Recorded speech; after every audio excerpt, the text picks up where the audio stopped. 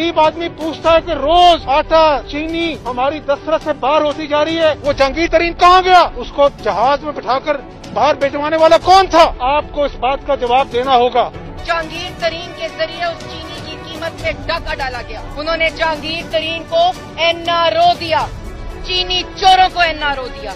आटा चोरों को एनआरओ दिया। सबसे बड़ा माफिया जो है वो डॉन था या डॉन है वो जहांगीर तरीन है जिसको उन्होंने भगा दिया क्यों नहीं डाला उसको ईसीएल के ऊपर? क्यों उसको जाने दिया है। आटा चोरो चीनी चोरो जान छोड़ो आटा चोरो चीनी चोरो जान छोड़ो आपके इर्द गिर्द चोरों का टोला है। जहांगीर खान तरीन बाहर बैठा है सौ अरब की चोरी करके। जो एनआरओ दिया है जहांगीर तरीन को महमूद खान को। इसका जवाब कौन देगा जो सरकारी पैसे की लूट खसुट हुई है? इस हुकूमत ने आटे और चीनी के बहरान में 180 अरब का डाका डाला है और डाका डालने वाली एटीएम है। ये आटा भी एटीएम खा गई है चीनी भी एटीएम खा गई है।